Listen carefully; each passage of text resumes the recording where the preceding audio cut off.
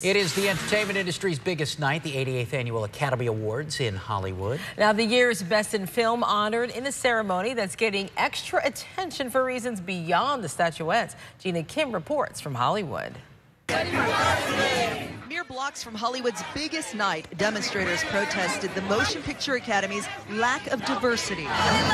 And the issue is also on the minds of many on the red carpet. It's about time we talk about it. I mean, I like that we're pushing the agenda. Well, we'll see what happens tomorrow. I want to see if we have the debate and conversation like next Thursday. But red carpet chatter was also about excitement. Nine-year-old Jacob Tremblay pulling for Brie Larson, who played his mother in Room to win Best Actress. I'm so proud for her. Like I stand on my chair every time she wins because like she's she's like my best friend.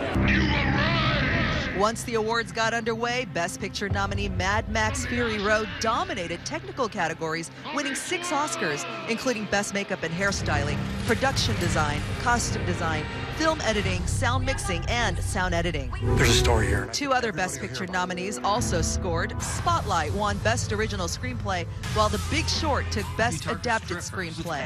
I need to talk to my husband. I And a first time nominee became a first time winner, Alicia Vikander, Best Supporting Actress for The Danish Girl.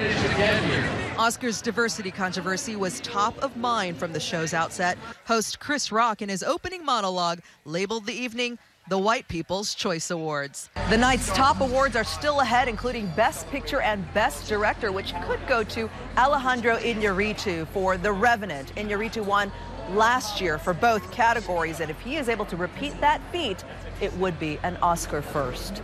In Hollywood, Gina Kim, NBC News. All right, well, now it is time to award the Oscar for Best Weather Forecast. Oh, okay, let's see who it is. I got to open this up here. And the winner is, okay, everybody get your applause ready. And the winner is? James Whelan! Yeah. Yay! Yay! Oh my gosh, I can't believe it. I would like to thank my parents and everybody who believed in me and said it could be possible. Okay, bring up the music now.